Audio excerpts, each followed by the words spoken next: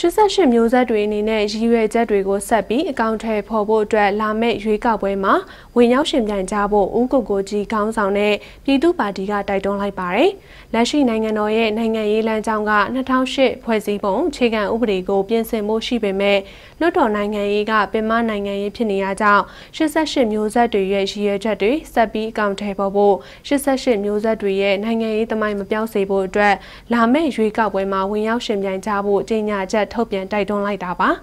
လာမယ့်2020နိုဝင်ဘာမှာကျင်းပမယ့်အထွေထွေရွေးကောက်ပွဲမှာဝင်ရောက်ရှင်ပြိုင်ကြမယ့်88မျိုးဆက်တွေကိုလည်းတက်နိုင်သလောက်အကူအညီတွေပေးသွားမယ်လို့လည်းပြည်သူ့ပါတီကဆိုပါတယ်။အခုလိုရွေးကောက်ပွဲဝင်ပြိုင်မှုတိုက်တွန်းတာနဲ့ပတ်သက်ပြီးတခြား88မျိုးဆက်ចောင်းသားတချို့ကိုလည်း DVB ကဆက်သွယ်မေးမြန်းခဲ့ပေမဲ့မှတ်ချက်မပေးခဲ့ကြပါဘူးရှင်။